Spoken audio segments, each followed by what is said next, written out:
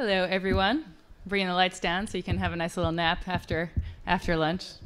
Um, warning: I get a little enthusiastic about robots, so might wake you up with some cool videos every once in a while. But yeah, so um, I've been making robots that interact with people for 17 years now, um, since I was an undergrad. Um, I'll tell you a little bit about this story. Um, but, but one of the things that I'm really excited about is taking inspiration from the arts um, to make more charismatic technology. So um, I'm a roboticist, and there's a lot of really interesting opportunities in robotics right now for robots that operate around people. So um, to catch you up with the field, like if we were thinking about some of the original applications for robots, like in the, the 80s um, and before and after, uh, we'll often think of things like automation, the 3Ds, the dull, the dangerous, the dirty, um, robots that can go to Mars because it's hard for us to get to, or hydrothermal um, sea vents to collect data on the bottom of a seafloor, or do things over and over again in a factory that we don't really want to do. Um, but a lot of the innovation that I think about is um, for robots that also have to do uh, some of their tasks around people. And so that means that they have to use some of the signals that we use to be able to share highways with an autonomous car. Um, they're really annoying if you're on your way to the airport in Pittsburgh, by the way, because they don't care what time your flight is. They are following the speed limit. It's and, and so it turns out that a lot of the rules that we think we can declare about how we behave, that when you put them directly into a robot, they don't always work. So um, a lot of what I do is try to uh, quantify what people do so that we can program it into robots and then run a lot of studies and reprogram and reprogram. Um, but yeah, cool. So my lab is called Charisma. Um, it's an acronym because acronyms are cool. Um, it is Collaborative Humans and Robots Interaction, Sociability, Machine Learning, and Art. So um, I have, these are most of my senior students. Um, I have some PhD students. I have an artist in residency program in my lab. Um, there's a guy just behind me, Jeremy, who is a theater artist that did some choreography with our robot chairs. Um, those, these are the chair bots below. Um, and I also have been working with uh, a Korean anthropologist, Bo, uh, right there in the middle, who has been helping us understand how to build cultural models of people operating around robots in factories so that we can think about some of that. Um, but yeah, so it, it's a lot of fun. My um, home department is in computer science, um, but my original degrees are in electrical engineering. All right.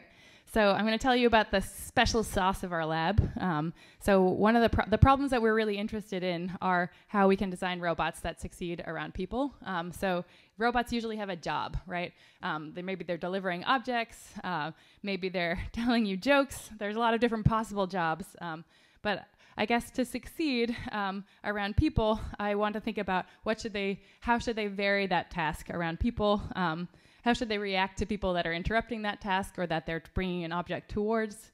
Um, and what do they need to be able to perceive to be able to do things in socially intelligent ways, like who goes through the door first, or if I'm running out of supplies, maybe I can move a little bit faster um, so I look busy, so my, my stash lasts longer.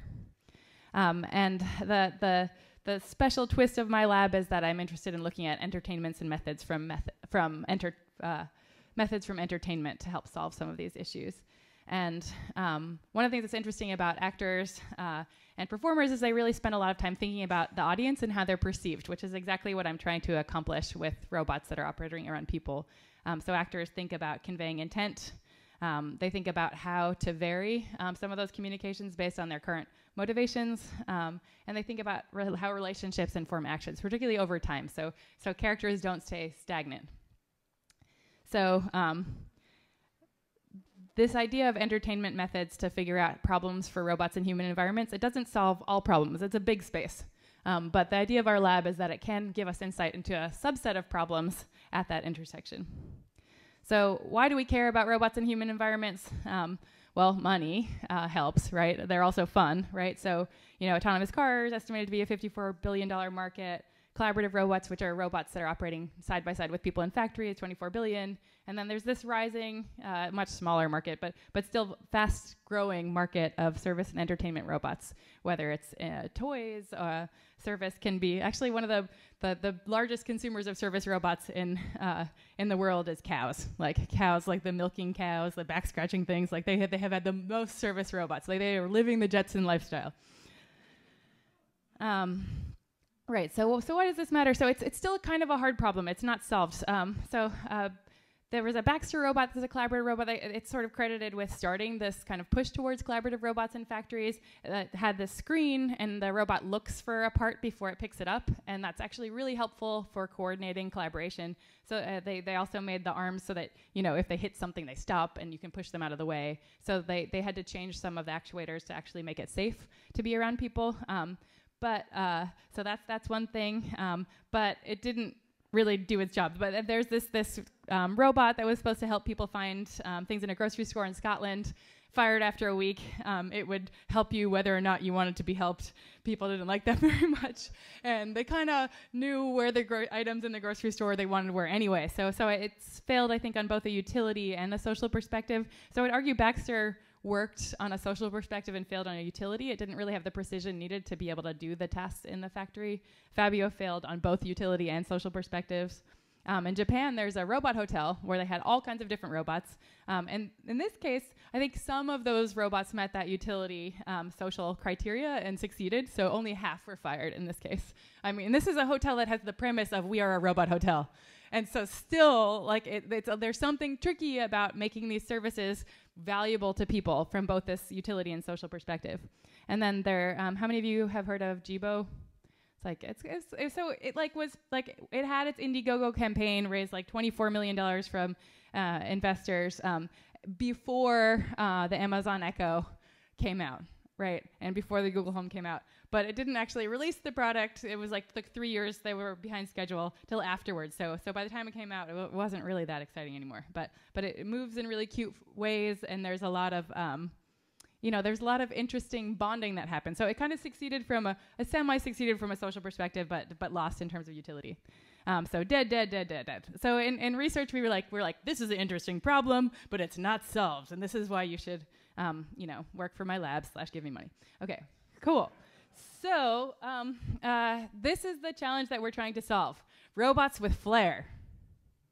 Okay, not exactly. Um, but the, the, point is, so when you're generally, typically trained to be a technologist, we or a computer scientist, for example, and you want to solve getting the path from A to B, we often look at criteria like the shortest path, the fastest path, the one that uses the least fuel.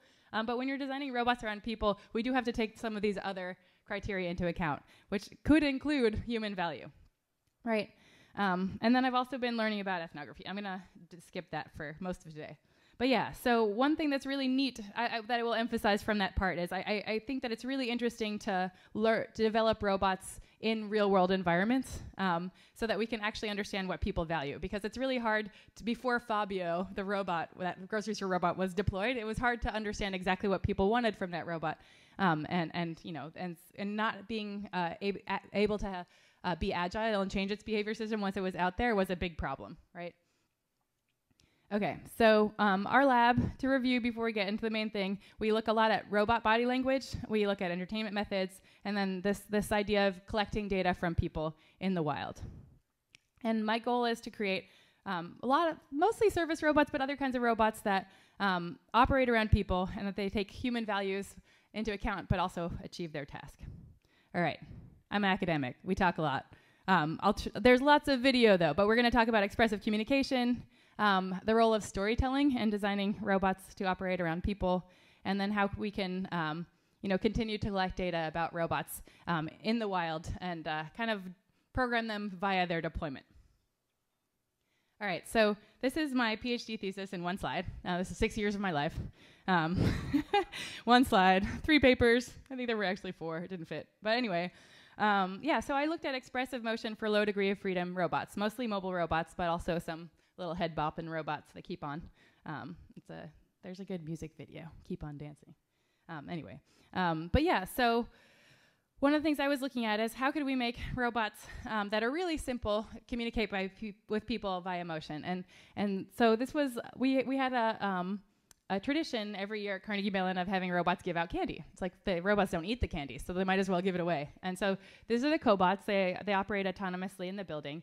And um, this year we always dress them up. But the the you know what year this was like 20, 2014 or something around that. No, no, 2015. Taking candy from a robot. Um, I decided to vary its motion characteristics while I was doing that. And something as simple as changing the speed at which it's going down the hallway made people um, twice as likely to take candy from the slow one as from the fast one. And you know, some people said that they had to chase it down. It was a little, it had faster accelerations, and a little more intimidating.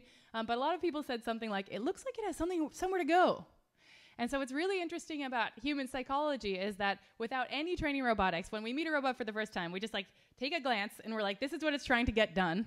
And like even without thinking about it, we change our own behavior. So like these non like very simple cues from robots can completely change whether we take candy from them. Um, so yeah. So maybe if strangers just had a little bit more aggressive motion, kids wouldn't take candy from them. Um, right. Uh, I also write comedy for robots. Use, the robots are funnier. Um, anyhow, um, so I've done robotics for a while. I think this incremented recently, um, 17. Um, but yeah, so I started as an undergrad at MIT. Um, started built my first robots as a as kind of an intern, undergraduate researcher um, with Cynthia Breazeal, who is really cool. I have du- uh, dual citizenship with Ireland because of my grandparents, which is really cool. So I, after college, I like took a one-way ticket um, to Europe um, and uh, hung out, like traveling around, googling robots plus whatever city I was in, and discovered this company, Aldebaran Robotics, which make the Nao robots and the Pepper robots. It's since been bought by a Japanese company, SoftBank, but it means that I got this little humanoid robot very early in my research life and started doing comedy with it later. Um, also worked some other places. Um, but basically, somewhere along the way, I looked back to some of my projects and I was like, wow, there's kind of a, like, you could think of some of these as interactive art pieces. I, I hadn't really thought about them at the time, but, but the art stuff is really interesting because artists like look at how to use technology in a way to provoke people that is a, a very unique perspective that could actually help solve some of the problems in my field when we're trying to design things for, for people. So when I went back for my PhD at Carnegie Mellon, this became the theme of my life. So the last eight years of robots and theater. So, but this is, let's go back in time. This is my second robotics project. This is before like microcontrollers were easy to use. Um, but there were four of us. Um, well, our professor was invited to make uh, exhibit uh, at the Smithsonian Cooper Hewitt Design Museum in New York City. And so four of us had to make it. and so we made these um, robotic flowers. And what I wanted you to think about here is how robots don't really have to look like people to communicate. There's like even just something as simple as reacting to someone's uh, motion is is really interesting. So some of these flowers, they'd actually notice they um, they would look for warm objects in the room, and uh, so there's pyroelectric sensors in, for example, that copper flower which I developed. And so as you came closer, it sort of track you. It tries to equalize the signal on the two petals. And so this idea of being noticed as you walk into a room is like really easy for someone that has zero background in robotics to understand and start and like kind of beckoning, coming over. Um, but then some of the flowers would also get scared if they got too close. So sometimes making behavior systems for robots is actually not super complicated from a social perspective, but getting it right is complicated from a psychology perspective. So we go back and forth between what's possible for robots to do and what is actually compelling um, from a human perspective. But yeah. I think we had also like stolen a bunch of like shavings from a lathe to like be the soil for the flowers, but um, yeah, so so that's one project that the, I sort of, you can also sort of see the art component.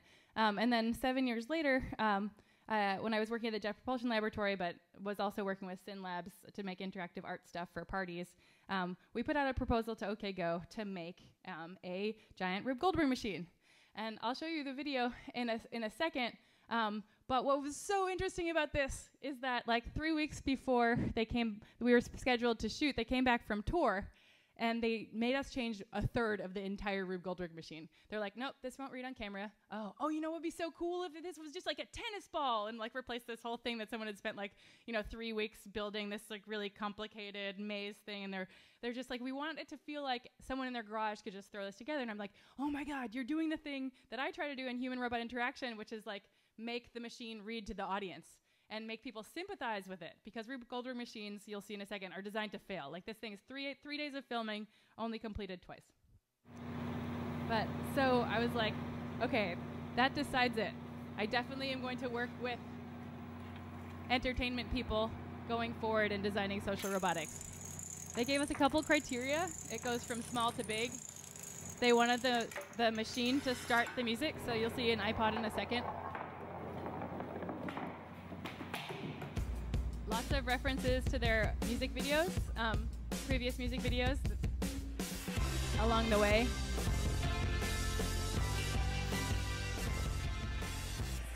So I co-directed like the machine for the first half of the video, like in terms of engineering. But like 80 people contributed to building it overall.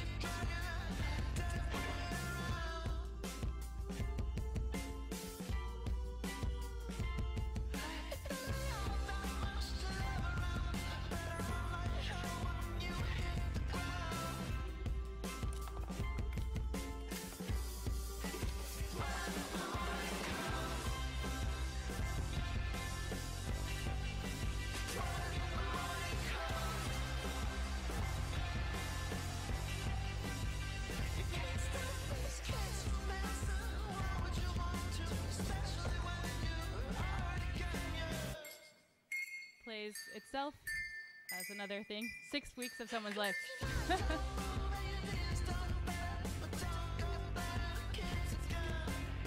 Look at the other piano in the back. It did not survive. That's my shoe.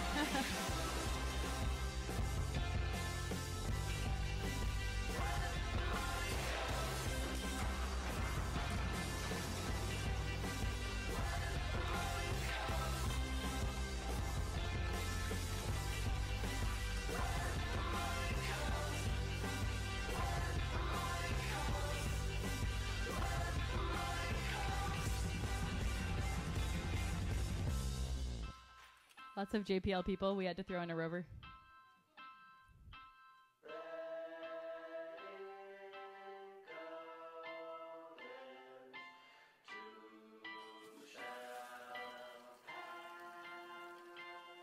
Only cut is right here.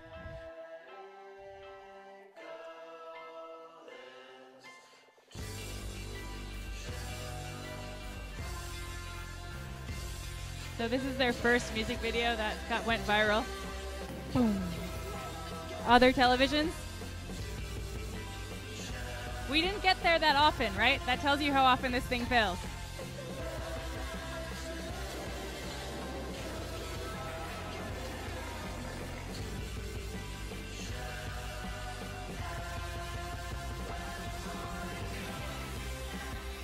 This is when it starts getting pretty dangerous for the cameraman. Big things are reliable. Always end your Rube Goldberg machine on big things like bowling balls that aren't affected by humidity.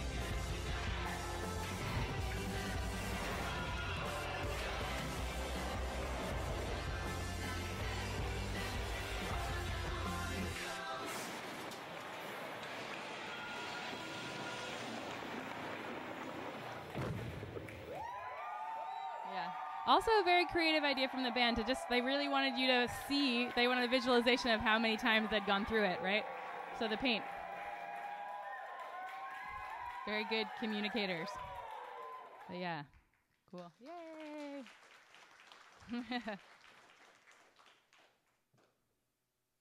right.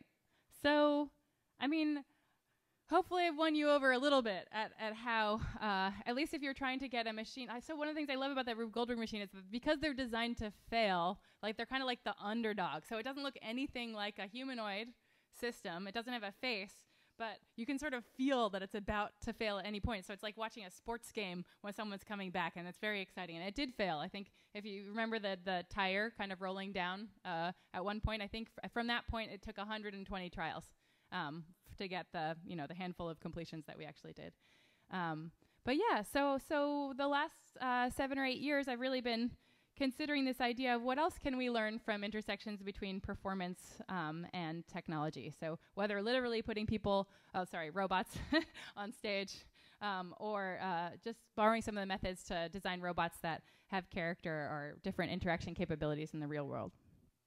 Um, so in the, the two years that I've been at Oregon State, these are all of the people and mostly students that, that have contributed in either to papers or projects uh, along the way. Um, building robots takes a lot of people, um, and, and running human experiments also takes a lot of people. So we have a, a pretty large team. I teach a social robotics class in the fall, and like usually there's a couple projects that come out of that.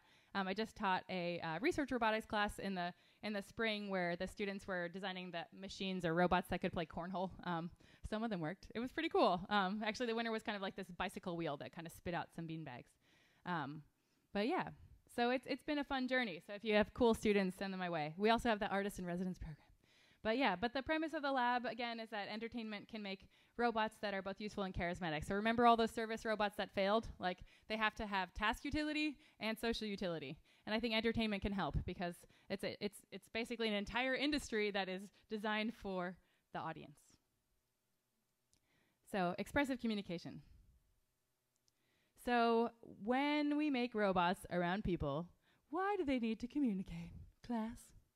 Um, well, one thing that's really helpful is if you're going to cross a road, if you're to, is to know if someone else is going to keep going or if they're going to stop, right? So I often look at the people in the car and make eye contact and see if they see me, and then so legibility, this idea of what you're doing next, is really helpful in coordination.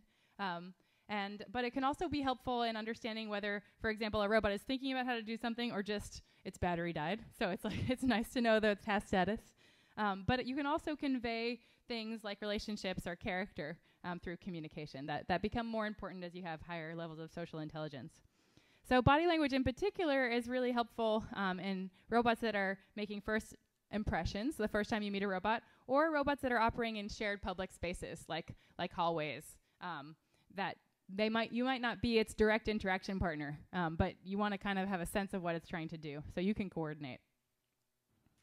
So um, this is a, a, experiment that we're still analyzing from my postdoc, um, where we basically I call it the robot duck crossing the road.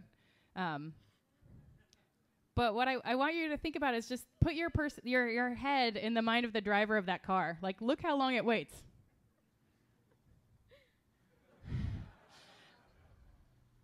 And, and, and think about visibility too. It's small, so it can't really see it super well, right? Um, and if you heard the audio, we're kind of laughing, but um, it's funny. Um, so this is officially a pedestrian corridor. We didn't actually have ethic board approval to bring robots into actual streets. Um, but yeah, but we did a bunch of experiments to try to understand how pedestrian, shared pedestrian spaces with like biker, like scooters, like cars, like uh, what are what are some of the implicit rules that robots would have to take into account um, if, if they were to also share these spaces, or even pedestrian assistive vehicles, like if, if it's an automated wheelchair. Um, so a lot of I've spent a lot of time thinking about expressive motion, but I'm not the first person to have done that. So um, this is a video from an experiment done by two psychologists in, in the 1940s, um, where they're actually moving around shapes with magnets behind a sheet. Um, there's a projector, um, but they wanted to understand um, storytelling like what when do we start telling stories when do we start attributing anthropomorphizing behavior when do we when is something an object versus an agent um, and, and so they showed this video to two different groups of people. and one, they said, tell the story of what happened. Or in the other group, they said, just, you know, describe the sequence of what happened. It won't surprise you guys to hear that everyone told a story. Um, and neuroscience have since used these kinds of diagnostics to see if people have socially functioning cognition, right? So the ability to tell a story about what's happening here, like, is that little circle going to be okay? I feel like I want to pause so you can see what happens. It's a big moment. Oh my God. Do you, th- I don't think the big triangle sees it. Oh, my God, I got away, right? so, so, so it's like, so picture this with Roombas, right?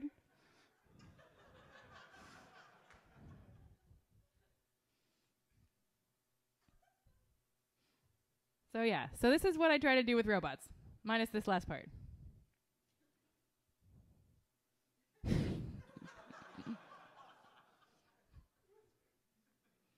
Right. So so what cognitively in our brain makes us attribute agency to something? So if you if you think about a falling leaf, following laws of physics, it's an object. But think Disney, if a butterfly suddenly comes there and the the leaf starts flying around after it, it's an agent. It's alive. It's alive. So that's the difference for us in our brain. We have actually parts of our brain dedicated to looking for faces, but we also have parts of our brain looking for biological motion. Why? We don't want to be eaten. Um, we want romantic partners. so we have to read that stuff. And we want to understand affiliation and tribe. So, like, those are usually the three levels in, in the hierarchy. Um, yeah, so some of the stuff that we've been doing in my lab has been also looking at how robot motions can influence bystander behavior. So last year we ran an experiment where there were two robot chairs trying to recruit people to come and play chess. Um, and we were looking at different motion strategies for getting people to come over and be like, this is the white's turn, this is the black's turn. I wish we had painted the chairs actually um, next time. Um, but yeah, and so there's a there's basically a little label at the table that says, uh, "Please play one move." Not everyone does, um, but you know that that's sort helps enforce the turn taking. But basically, we found that a, a robot that's doing this forward back motion, it's kind of like a big arrow.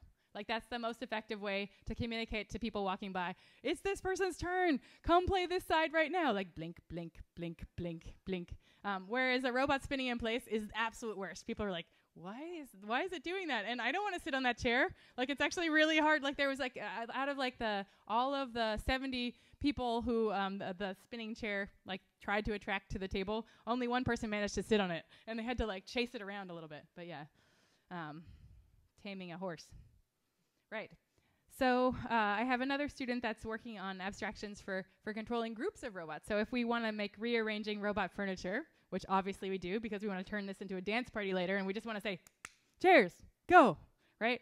Um, it's important for them to understand abstractions. So I have a student that's working on uh, uh, basically interfaces to do that control um, and make some uh, uh, inferences about what people might want, uh, but also think about how can we actually rearrange furniture around people. So sometimes it needs to sort of imply, excuse me, um, but depending on how important it is that the next event start exactly on time, it could use different strategies. So, so that's what we're working towards.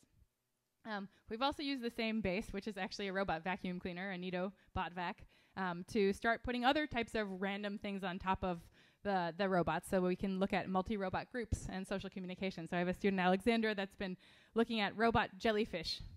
Um, and she's trying to design a uh, interactive art exhibit where the robots sometimes ex exclude you from their group of jellyfish, um, like a, like a robot middle school. Um, but if you do the right behaviors, you can become part of the group. So in development, if you have ideas, love to hear them. Um, but yeah. So here was like here was like uh, one little video that she she's she's starting to use MATLAB to kind of come up with ideas for you know this one is more like I think this is more like this is how to get eaten by robots. So so we have a little bit more work to do.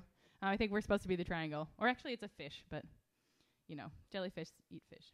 Anyway, um, but yeah, so we've also been looking um, at other aspects of nonverbal communication, like collision. Like, so if you have a really simple robot, you don't actually have that many channels for communication. You could add some sound, you could add some light, um, but actually, it turns out people don't mind robots bumping into them.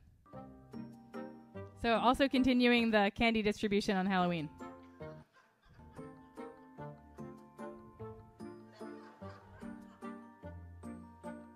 They're like, okay, I took it, go away. Just kidding.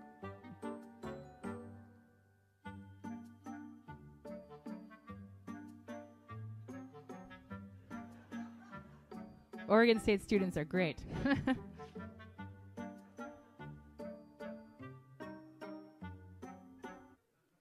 so yeah, one of the things we've seen in some of our like collision-based communication uh, like projects. Oh, I think it's a fun title. Um, uh, is that people there's a lot of reciprocal touch also. So if the robot bumps into them, people will, like will take the candy and they'll like pat it back, um, which is sort of interesting because it's more like a, a, kid or a dog. Like social touch is actually normative for a lot of human human.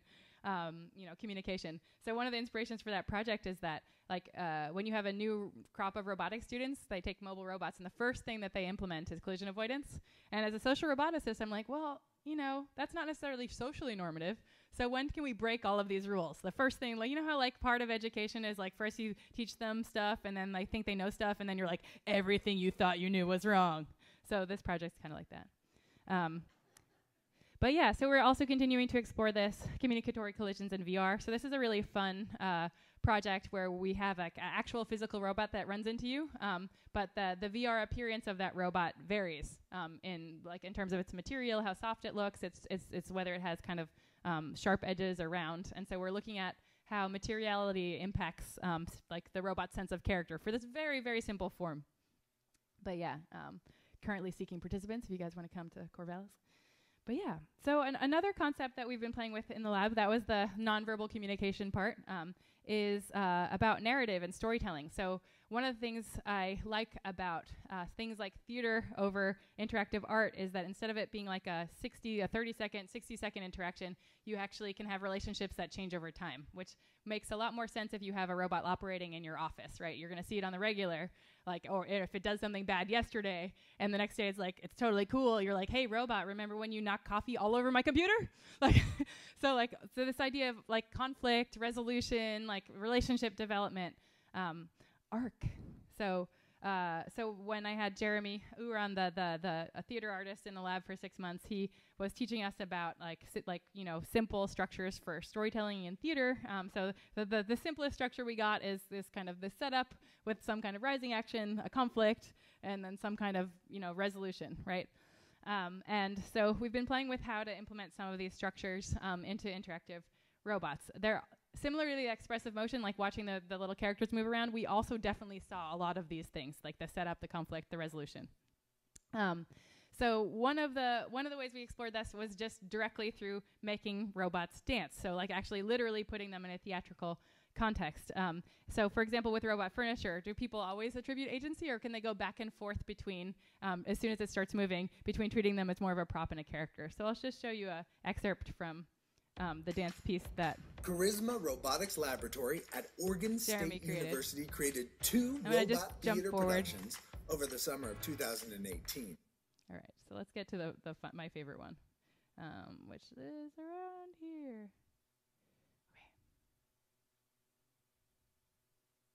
Second human dancer and chairbot in Act 3.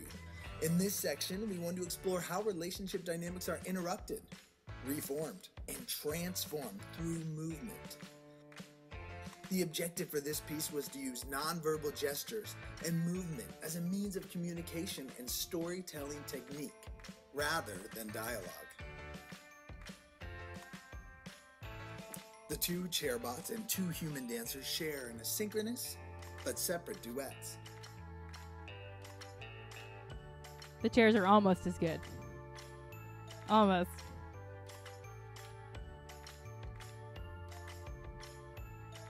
As the two humans skip away, the final moment of this piece found our chairbot performers on stage together, culminating in a final LED lit kiss. Collision based communication, guys. Charisma Robotics would like to thank the development team, production So yeah, I mean, I think one thing, the fun thing about a project like that is that the same concepts that we're talking about in general interaction can also be used to craft performances on stage um, and explore that. Um, but yeah, another project we did was um, try to create an interactive story where people could choose the arc. So last summer we made um, an interactive story called um, Adam's Apple on this Nao robot, um, where it was it was um, basically took place at this um, workshop for Hispanic teenagers called the Mariachi Summer Steam Camp, um, where they do science stuff in the morning and they play music in the afternoon. It's actually pretty cool. Um, but yeah, so so the robot could tell a story in both English or Spanish. And uh, choose how, like, whether they like the, the the the robot was a keeper of an apple or um, gu- guardiano de la manzana, manzana, and like, and basically the person could take it or not take it. And so they had this like conflict arc resolution, and it's kind of like a choose your own adventure book with a robot that's bilingual. But um, yeah, it, it was just kind of fun to play with that structure. And then we had the students create their own scripts um, about robots, um, ideally nice ones. But yeah, but so, and then recently we also did a project with robots um, as a partner in an improv scene. Um, so again, we're getting back to this much more minimal robot, um, and we create we invented a game that we're we're calling Relativity, and which is an improv game um, where basically um, a simple robot and a person takes turns um, making offers. Improv terminology. Um, so the, the robot makes a movement offer, and the person can make a statement, movement, all the things, and they kind of take turns back and forth with the help of a wizard um, for for the timing. Wizard person behind the curtain controlling the robot. Your- And your suggestion is vacation.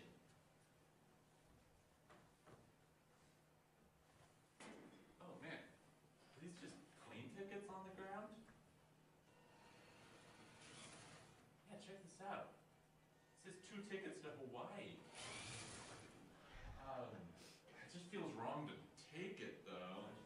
Do you see anybody? Nobody around.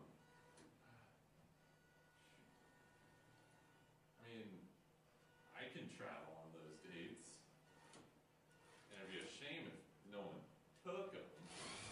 Oh, oh, uh, yeah, you're right. We shouldn't take them.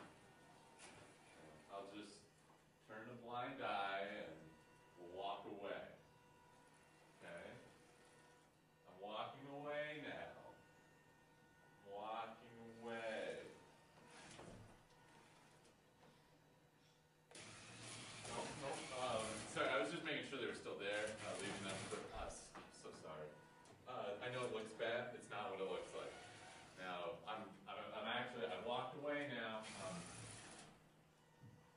That's the face, the X.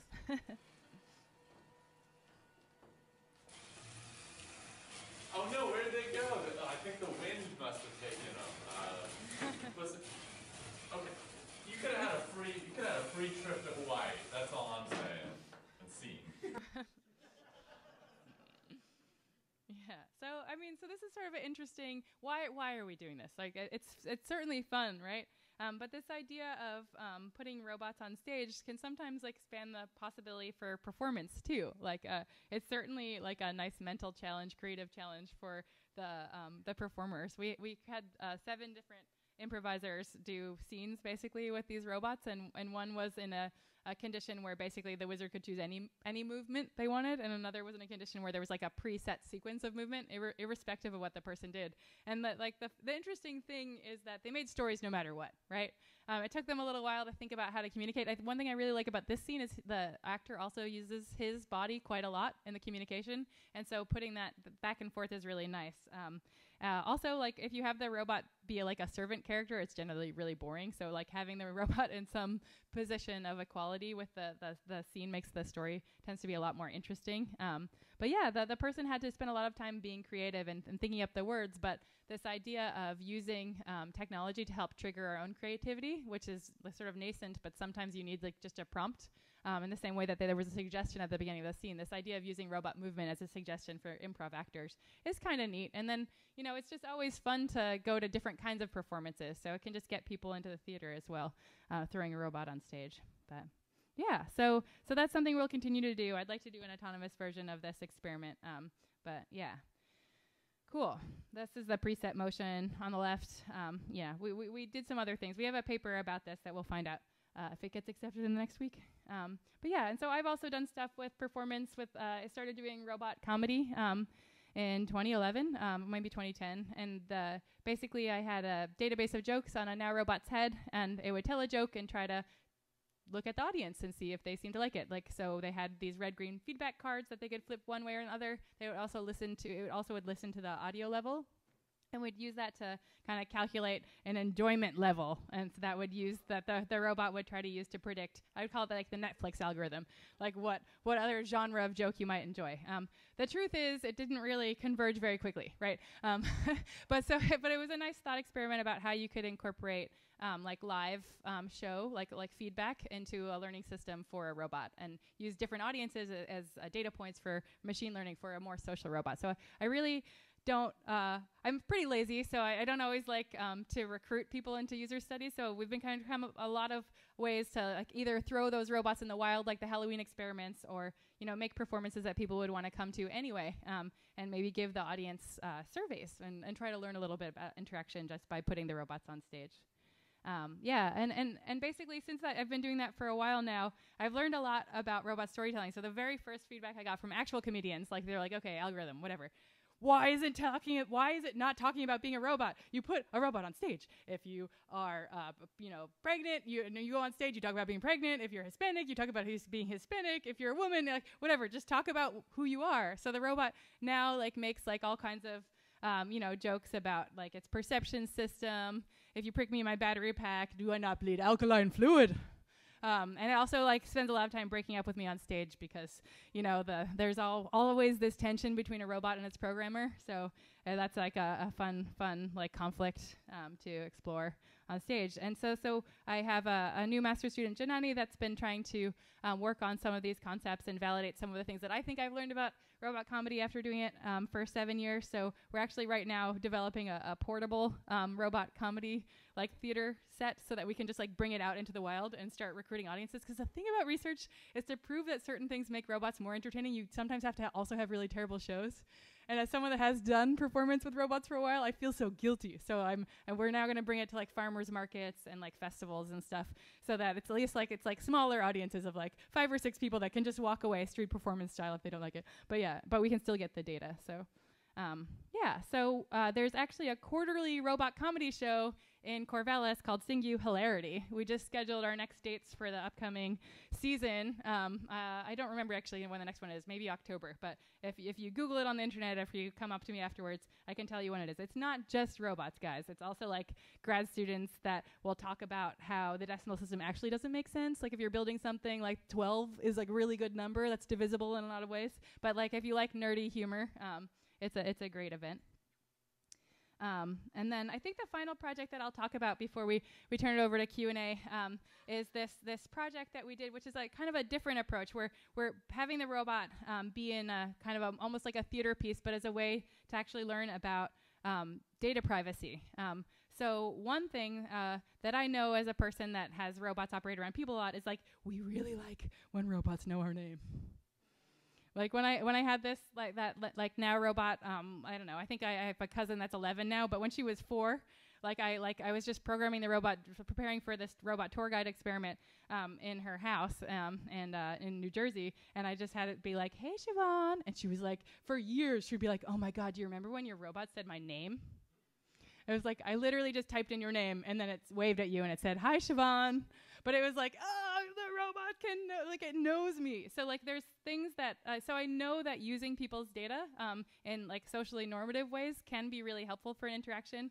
Um, and so if you think about going to your favorite coffee shop, like sometimes it can be really nice to be remembered and remember your drink and so on. So so what kind of data use um, are people up for for robots for for service robots? So we basically did this um, experiment where we generated a lot of scripts about um, a robot barista commenting on two people's conversation. So it could be commenting on the conversation, commenting on their their body language, um, uh, commenting by on like, oh, you have three traffic violations, like this I- implication that they'd looked you up in a database.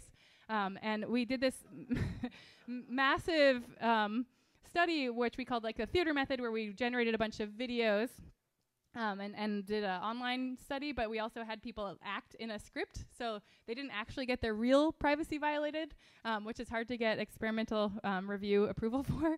Um, but they like they had a simulated violation, which could give us some really good first pass data um, on how to design interactions with high psychological risk. I kind of also want to make a robot therapist, but um, I, I, want the couch to be the therapist. Uh, like when your hour's up, it can just like dump you on the floor. but it could like cradle you if you're having a hard time. Anyway, hug. Um, but yeah, uh, cool. So the in this particular thing, we generated a ton of scripts. I think it was um, we had like something. Well, I think it's in the next slide, but we had like something like 4,000 online participants to to do all the different variants of the script. I think there were around 288 videos, if I remember right. But so that we varied a lot of things. So the people that were ordering the coffee, they were there on a first date for a job interview to interview a Craigslist roommate. Um, sometimes it went well, sometimes it didn't go well, um, and so we looked at all of these different variants um, to try to understand when what kind of data do, are people more okay with body language. They don't mind if you're like, you look like you're having a rough day. Like that's not nearly as bad as like, um, uh, you don't look like you're ready for this job, right? Um, but but people definitely positive information is really great. Um, so people like compliments, even if it is on data channels that are, would otherwise be sensitive. But yeah, lots of interesting stuff. So we did the online experiment, followed up with some of the in- results for this in-person experiment. And I have to say, when the robot was giving me a hard time, when I was already having a hard time in a scene, I like I back talk that robot like crazy. I'm not going to show you any videos, but my students have them, and they like to use these things against me. Um, but yeah, so I'll, I'll show you an example of the in-person scenes. Are you the person from OkCupid? Yes, I am. Two coffees, please. Two coffees coming up. Just so you know, your messages were really funny. You seem ready for love. Good to see you. That little smile, that sneaky first date smile, right? And let's look at the contrast. Are you the person from OkCupid? Yes, I am. Two copies, please. Two copies coming up. Just so you know, your messages were really awkward. You don't seem ready for love. Oh. Mm, Poor guy, right? Like this is a theater thing. Maybe the ethics board should not approve this study methodology. like, aw, some undergrads were hurt emotionally in this research. Um, right. Yeah. So, so I mean, that's the last project I want to tell you about today. I'm going to go to the conclusion because, um, like I said, academics talk too much.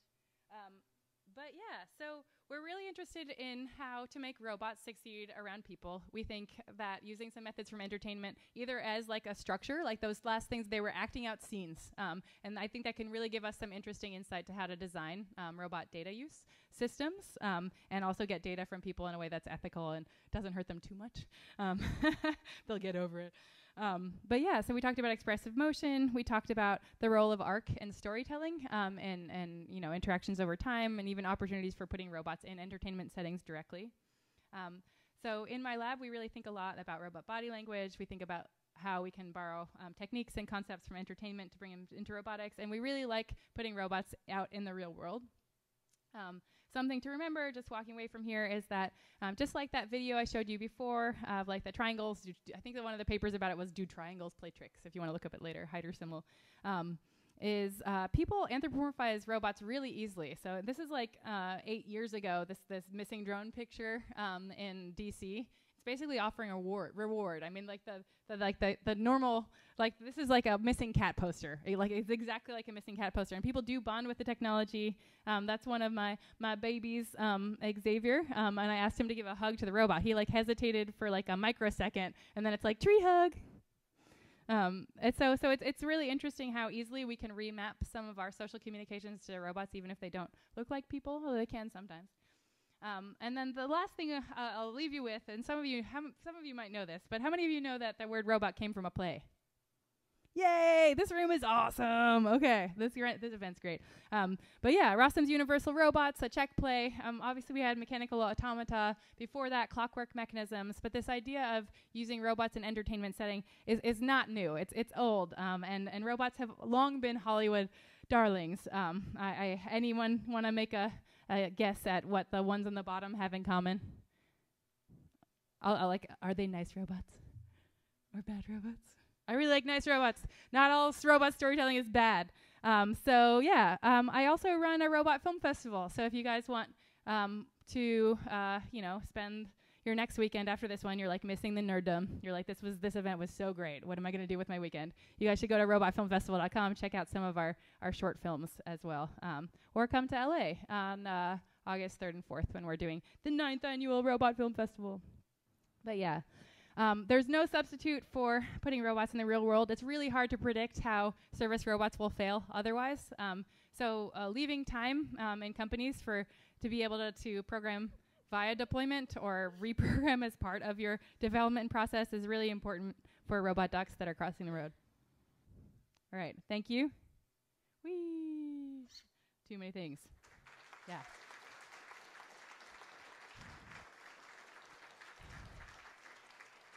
So I think we left. There's still uh, nine minutes for questions, if you would like. Only for the brave. Are you brave? yes, that's. I love it. Okay.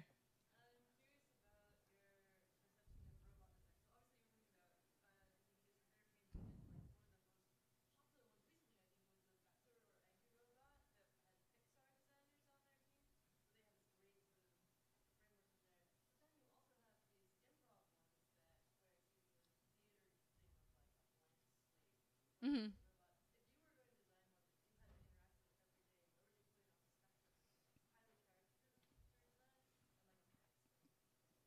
Um, so I, I, you're asking about um, robot design, and it sounds like you're asking pr- like predominantly about robot physical design, um, but also a little bit about its character design, um, which I would imagine it also involves its interactive behaviors.